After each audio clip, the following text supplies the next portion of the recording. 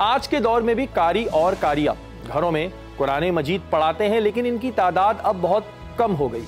Corona virus ने जहाँ पूरी दुनिया को मुतासर किया, वहीं तालीम के शोबे में भी बड़ा नुकसान पहुँचा। स्कूल्स ने सोचा कि बच्चों को नुकसान ना हो, इस वजह से ऑनलाइन क्लासेस स्टार्ट की गई और बच्चों को घर बैठे तालीम दी गई। इसी सिलसिले को देखते हुए लोगों ने अपने बच्चों को ऑनलाइन कुरान पाक पढ़ाना शुरू कर दिया। लेकिन ऑनलाइन पढ़ाने वालों की तादाद बहुत कम थी, क्योंकि कारी और कारिया को भी सही से ये नहीं पता था कि ऑनलाइन किस तरह पढ़ाया जाएगा। और पढ़ने वालों को भी इसमें बहुत मुश्किल दरपेश आ रही थी कि आखिर ऑनलाइन कैसे पढ़ा जाए। ऑनलाइन प्लेटफॉर्म्स के बारे में तो हम आपको आगे बताएँगे, लेकिन अभी ये जानते हैं कि आज के दौर में कितने ऐसे इस हैं जो बच्चों को दीन की तालीम दे रहे और इन्हें पहले कितना हदिया मिला करता था और अब कितना हदिया मिल रहा है।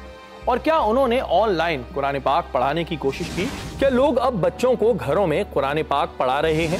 अभी तो ऐसा नहीं है। पहले बहुत पढ़ाते थे अब जो है ना महँगाई के दौर में लोग पढ़वाना तो चाह रहे हैं लेकिन बहुत कम फ़ीस दे रहे हैं। तो इस वजह से जो है ना बहुत कम पढ़वा रहे हैं क्योंकि गली गली में मदरसे शुरू हो गए।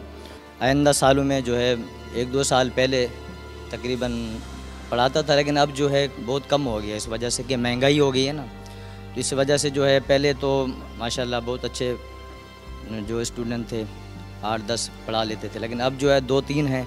वो इसी वजह से है कि भी बहुत महँगाई होगी तो कोई घरों में पढ़ा ही नहीं रहा। फ़ीस की डिमांड करें तो ये बोलते हैं कि जो है आप कुरान पढ़ाने के पैसे ले रहे हैं। हालाँकि स्कूलों में इतने दे देते हैं हज़ार पंद्रह सौ तेरह सौ चौदह सौ। ये रुझान तो पढ़ाने वाला तो लोगों के अंदर ख़त्म हो गया है क्योंकि महँगाई की वजह से। लोग हम फ़ीस बताते हैं लोगों को मतलब हज़ार पंद्रह सौ।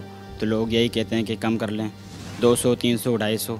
इतना ही बोलते हैं बस। जहाँ के, जहाँ फ़ीस नहीं है बिल्कुल तो वहाँ बच्चों को पढ़ाने की तरफ़ यानी कि तवज्जो चली गई है, यानी जगह जगह मदरसे खोल दिए गए तो जहाँ फ़ीस नहीं है तो वहाँ पढ़ा रहे हैं अभी बच्चों को।